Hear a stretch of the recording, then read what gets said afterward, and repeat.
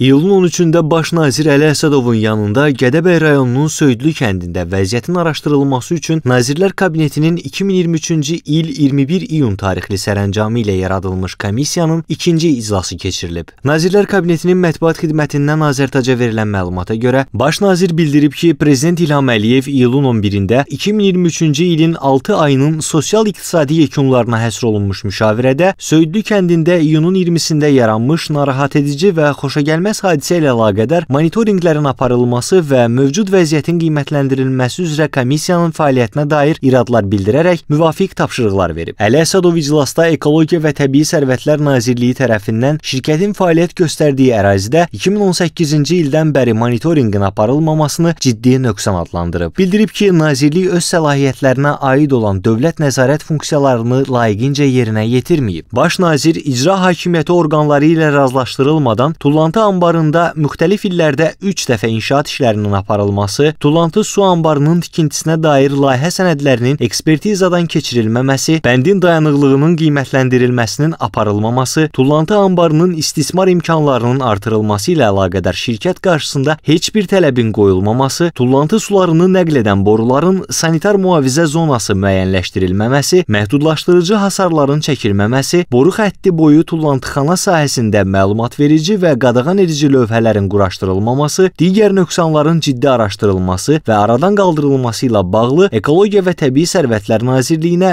və Fövqəladə Hallar Nazirliyinə tapşırıqlar verib. Baş nazir həmçinin qeyd edib ki, ərazidə fəaliyyət göstərən müəssisədə monitorinq aparılması məqsədi ilə beynəlxalq şirkət müəyyənləşdirilərək dəvət edilib və onun nümayəndələrinin yaxın günlərdə ölkəmizə səfəri gözlənilir. İclasda həmçinin komissiya üzvlərinin aparılan monitorinqlərin nəticələrinə dair məruzələri dinlənilib. Səhiyyə naziri birinin müavini Nadir Zeynalov bildirib ki, Söyüdlü kəndində və müəssisə ətrafında yerləşən yaşayış məntəqələrində müvafiq müayinələr və monitorinqlər aparılır. Kənd Təsərrüfatı Nazirinin müavini Sarvan Cəfərov qeyd edib ki, Söyüdlü kəndində və ətraf ərazilərdə heyvan sağlamlığı, arıçılıq, bitkiçilik, bitki mühafizəsi və torpaq münbitliyi sahələrində monitorinqlər həyata keçirilib. Kompleks müşahidələr aparılıb, örüş otlaq sahələrinin və təsərrüfatların mövcud vəziyyəti qiymətləndirilib. Baş nazir aparılan monitorinqlərin daha da sərtləşdirilib gerçəkləşdirilməsi və mütəmadi qaydada keçirilməsi ilə bağlı tapşırıqlarını verib. Əliəsadov Söyüdlüdə şirkətin fəaliyyətinin müvəqqəti olaraq dayandırılması ilə bağlı qərar qəbul etdiyini deyib. Baş nazir qeyd edib ki, ərazidə fəaliyyət göstərən şirkət tərəfindən növbəti dövrdə islahatda müasir texnika və yeni texnologiyaların tətbiqi təmin edilməlidir. Bildirib ki, bu müddət ərzində müəssisə müəyyən edilən bütün nöqsanları aradan qaldırmalı, fəaliyyətini müvafiq qanunvericiliyin tələblərinə uyğun qurmalı, o cümlədən işçilər qarşısında sosial öhdəlik öhdəliklərini yerinə yetirməlidir. Əli Əsədov komissiya üzvlərinin yaxın günlərdə Söyüdlü kəndinə